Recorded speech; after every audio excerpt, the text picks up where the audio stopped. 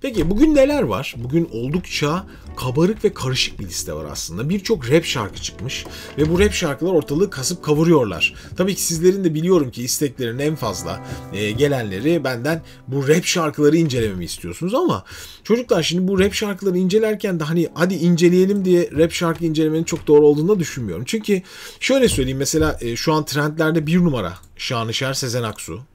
Yani bir numara yani e, ortalık kasıp kavruluyor bu parçayla. Fakat e, öyle bir şey yapabilirim ki yani bununla ilgili neler söyleyeyim size çok kısa bir şeyler anlatabilirim. Uzun uzun ve detaylı şeyler anlatmam çok zor bunda. Çünkü aslında birazcık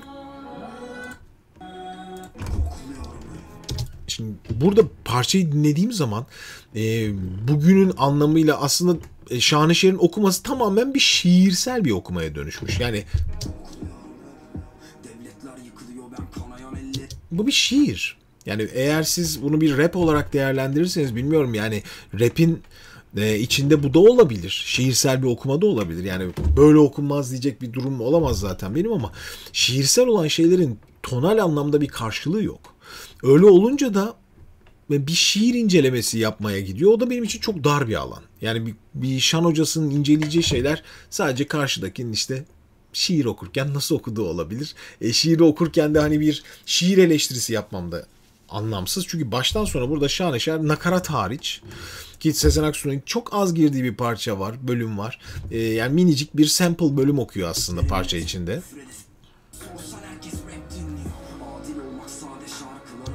Ya o nedenle bunu böyle detaylı incelemem çok bir şey taşımıyor bence.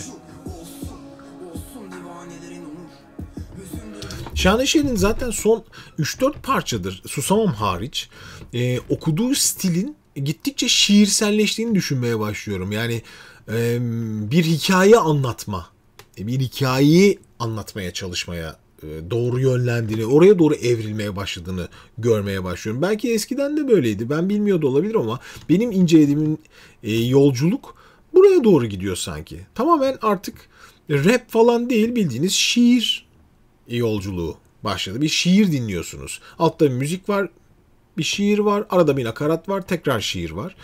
E, bu onun stili de olabilir dediğim gibi. Ama hani e, bunu oturup e, uzun bir e, detaylı müzikal inceleme yapmam benim için çok e, şey oluyor. Sınırlı oluyor. E, onun haricinde